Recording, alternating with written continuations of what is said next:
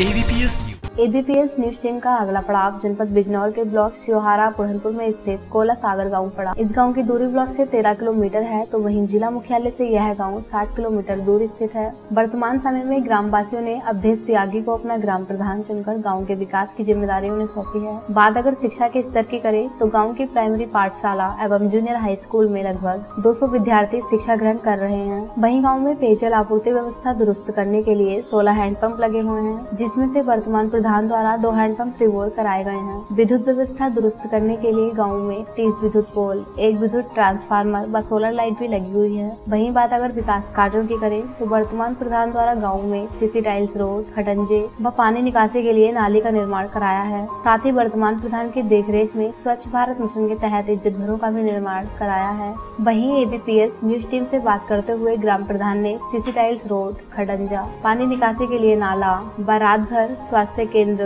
पानी की टंकी स्वच्छ भारत मिशन के तहत इज़्ज़त घरों व प्रधानमंत्री आवास योजना के तहत पैंसठ आवासों के निर्माण की मांग राज्य व केंद्र सरकार से की है।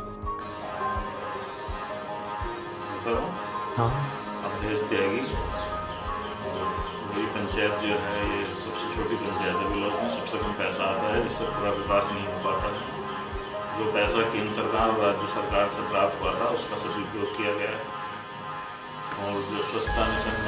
ने भी दिया जो ये डस्टबिन वगैरह लगे हैं, इसका भी पंचायत द्वारा चेक दिया गया है।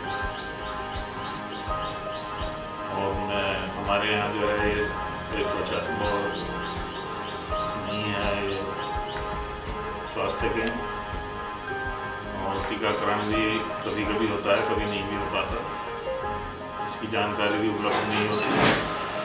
पंचायत मुख्यालय से तेरह किलोमीटर दूर है।